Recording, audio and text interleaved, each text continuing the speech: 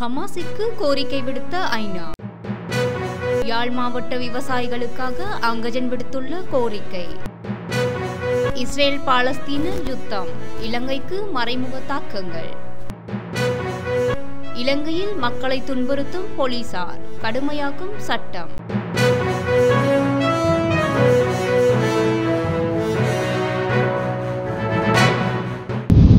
Israel மற்றும் Hamas அமைப்பினருக்கு இடையில் தொடர்ந்து பத்தாவது நாளாக போர் இடம்பெற்று வரும் வேளையில் மோதல் சூழ்நிலைகளை குறைப்பதற்காக எந்த நிபந்தனையுமின்றி இஸ்ரேலிய பிணை கைதிகளை விடுவிக்குமாறு ஐக்கிய நாடுகள் சபை கோரிக்கை விடுத்துள்ளது. இந்நிலையில் ஐநா தலைவர் அந்தோனியோ குத்தேரஸ் இரண்டு முக்கிய கோரிக்கைகளை முன்வைத்துள்ளார். ஐக்கிய நாடுகள் சபையின் தலைவர் அந்தோனியோ குத்தேரஸ் கூறுகையில் ஹமாஸ் அமைப்பினர் எந்தவித நிபந்தனையுமின்றி பிணை கைதிகளை விடுவிக்க வேண்டும். அதேபோல் இஸ்ரேல் மனிதாபிமான உதவிகள் காசா சென்று சேர்வதை உறுதி செய்ய வேண்டும். மத்திய கிழக்கில் நிலவும் அபாயமான சூழலில் ஐக்கிய நாடுகள் தலைவராக நான் இந்த இரண்டு கோரிக்கைகளை முன்வைக்க வேண்டிய கடமை உள்ளது. அதன்படி இதனை கோருகின்றேன் என தெரிவித்துள்ளார். மேலும் இஸ்ரேலின் தொடர் அறிவுறுத்தல்களால் காசாவின் வடக்கிலிருந்து தெற்கு நோக்கி பல லட்சம் பேர் இடம்பெயர்ந்துவிட்டனர். இதேவேளை மருத்துவமனைகளில் கூட எரிபொருள் இல்லாத சூழலே காசாவில் நிலவுகின்றது. இன்னும் இருபத்தி நான்கு மணி நேரத்தில் மருத்துவமனைகள் கூட இருளில் மூழ்கும். ஆயிரம் கணக்கான நோயாளிகள் உரிய சிகிச்சை கிட்டாமல் உயிரிழக்க நேரிடும் என ஐக்கிய நாடுகள் மனிதாபிமான உதவிகள் கண்காணிப்பு அமைப்பு தெரிவித்துள்ளமை குறிப்பிடத்தக்கது. எமது விவசாயிகளின் உற்பத்திகளுக்கான ஏற்றுமதி வாய்ப்பை அதிகரிக்க நடவடிக்கை எடுக்க வேண்டும். உற்பத்திகளுக்கான பெறுமதி சேர்க்கும் செயற்பாடுகளை மேற்கொள்ள வேண்டிய தேவையுள்ளது என யாழ் மாவட்ட நாடாளுமன்ற உறுப்பினர் அங்கஜன் ராமநாதன் வேண்டுகோள் விடுத்துள்ளார். நேற்றைய தினம் அமைச்சர் மஹிந்த அமரவீர தலைமையில் யாழ்ப்பாணம் மாவட்ட விவசாய குழு கூட்டத்தில் கலந்து கொண்டு உரையாற்றும் போதே அவர் மேற்கண்டவாறு குறிப்பிட்டுள்ளார். இதுகுறித்து மேலும் அவர் கருத்து தெரிவிக்கையில் உள்ளூர் ஏற்றுமதி சந்தைகளை தாண்டி ஐரோப்பா உள்ளிட்ட சர்வதேச சந்தை சந்தைகளுக்கான ஏற்றுமதி வாய்ப்புகளை பெற்றுத்தர வேண்டும். தற்போது இந்தியாவுடனான கப்பல் மற்றும் வான்வழி தொடர்புகளை யாழ் மாவட்டம் கொண்டுள்ளது.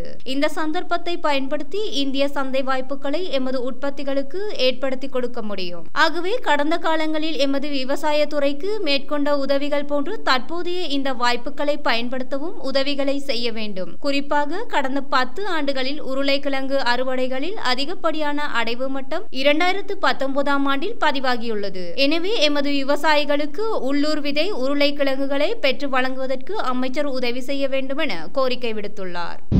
பாலஸ்தீன் இஸ்ரேல் யுத்தம் பூகோள மட்டத்தில் நிச்சயம் தாக்கம் செலுத்தும். இலங்கைக்கும் மறைமுக தாக்கங்கள் ஏற்படும் என நாடாளுமன்ற உறுப்பினர் எரோன் விக்ரமரத்ன தெரிவித்துள்ளார். கொழும்பில் நேற்றைய தினம் இடம்பெற்ற செய்தியாளர் சந்திப்பின் போதே அவர் மேற்கண்டவாறு குறிப்பிட்டுள்ளார். இது தொடர்பாக மேலும் அவர் கருத்து தெரிவிக்கையில் பொருளாதார பாதிப்புகளுக்கு மத்தியில் இலங்கையின் வெளிவிவகார கொள்கை பலவீனமடைந்துள்ளது. முன்னாள் பிரதமர் ஸ்ரீமாவோ பண்டாரநாயக்கா அறிமுகப்படுத்திய பிளவுபடாத வெளிவிவகார கொள்கைகளுக்கு சகல அரசியல் கட்சி கட்சிகளும் இணக்கம் தெரிவித்தன.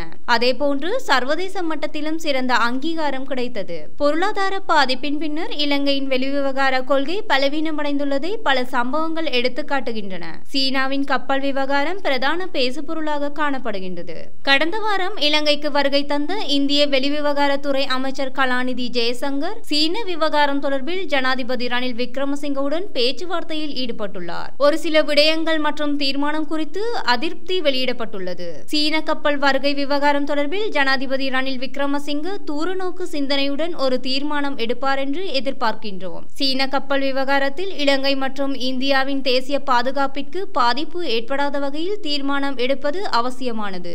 இலங்கையின் வெளிவிவகார கொள்கை நெகிழும் தன்மையில் காணப்படுவதால் தற்போது பூகோள தாக்கங்களுக்கு மத்தியில் பலவீனமடைந்துள்ளது. ஐக்கிய நாடுகள் சபையால் ஏற்றுக்கொள்ளப்பட்ட கொள்கைகள் மற்றும் அங்கீகாரத்தை அடிப்படையாக கொண்டு வெளிவிவகார கொள்கை புதுப்பிக்கப்பட வேண்டும். இலங்கையின் தற்போதைய வெளிவிவகார கொள்கை பல்லினத்தன்மையை கொண்டுள்ளது ஆரோக்கியமானதல்ல. பாலஸ்தீன் இஸ்ரேல் யுத்தம் பூகோள மட்டத்தில் நிச்சயம் தாக்கம் செலுத்தும். இலங்கைக்கும் மறைமுகமான தாக்கங்களை ஏற்படுத்தும். பாலஸ்தீன் இஸ்ரேல் யுத்தத்தை முன்னிலைப்படுத்தி ஒரு தரப்பினர் இலங்கையில் தவறான சித்தரிப்புகளை முன்னெடுப்பதை அவதானிக்க முடிகின்றது. இது தேவையில்லாத பிரச்சினைகளை தோற்றுவிக்கும். தற்போதைய நெருக்கடியான நிலையில் வெறுக்கத்தக்க பேச்சுகளுக்கு இடமளிக்க கூடாது மத்திய கிழக்கு நாடுகளில் பல்லாயிரம் கணக்கான இலங்கை இலங்கையர்கள் வீட்டு பணிப்பெண்களாகவும் தொழிலாளர்களாகவும் பணிபுரிகின்றார்கள். பாலஸ்தீன் தொடர்பில் இலங்கையில் தவறான சித்தரிப்புகள் முன்னெடுக்கப்படும் போது அது இலங்கை தொழிலாளர்களுக்கு பாதிப்பை ஏற்படுத்தும். இதனால் பொருளாதாரமும் பாதிக்கப்படும். ஆகவே இவ்விடயம் தொடர்பில் அரசாங்கம் விசேட கவனம் செலுத்த வேண்டும் என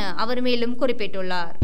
பொதுமக்களுக்கு அசௌகரியத்தை ஏற்படுத்தும் வகையில் செயற்படும் போலீஸ் நிலைய கட்டளை தளபதி உள்ளிட்ட போலீஸ் உத்தியோகத்தர்களுக்கு எதிராக விசாரணைகள் நடத்தப்பட்டு ஒழுக்காற்று நடவடிக்கை எடுக்கப்படும் என போலீஸ் ஊடக பிரிவு தெரிவித்துள்ளது.